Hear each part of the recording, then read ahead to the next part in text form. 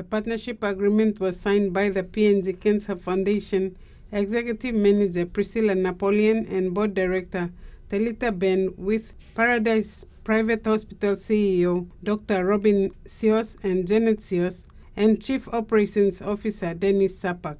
We're providing um, support in terms of um, getting our doctors to help out in the cancer outreach program, and we're also um, we're also giving a, giving a commitment of 5,000 kina as a support towards the uh, men's um, cancer week, which is going to happen in November.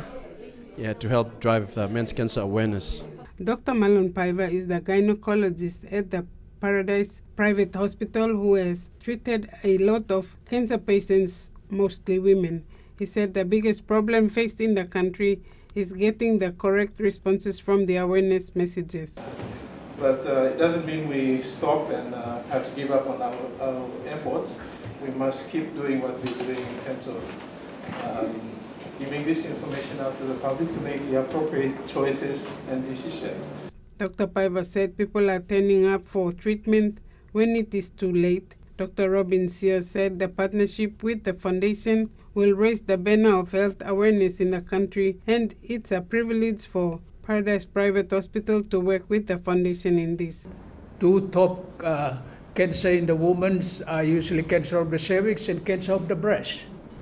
And this foundation goes a long way to try and help the services provided to support the care of uh, cancer patients. PNG Cancer Foundation's Priscilla Napoleon said the new partnership with PPH will help address the National Health Plan 2021 to 2030 key result areas 1 and 2, healthier communities through effective engagements and working together in partnership. Frida Kana, TVWAN News.